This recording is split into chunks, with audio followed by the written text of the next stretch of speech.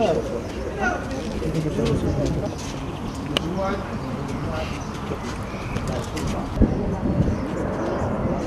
عملا بتوصيات وتوجيهات القيادة الرشيدة وعلى رأس سيادة اللواء المدير العام للأمن الوطني في محاربة الجريمة بمختلف أشكالها لا سيما الحضارية منها تمكنت مصالح أمن ولاية الجزائر ممثلة في المصلحة الولائية للشرطة القضائية. بحر هذا الأسبوع من وضع حد لشبكة إجرامية مختصة في الاتجار والترويج بالمخدرات الصلبة والهيروين. طبعا هذه الشبكة آه، تنشط في ضواحي العاصمة. تتكون من ستة أشخاص تتراوح أعمارهم من بين 30 إلى 50 سنة.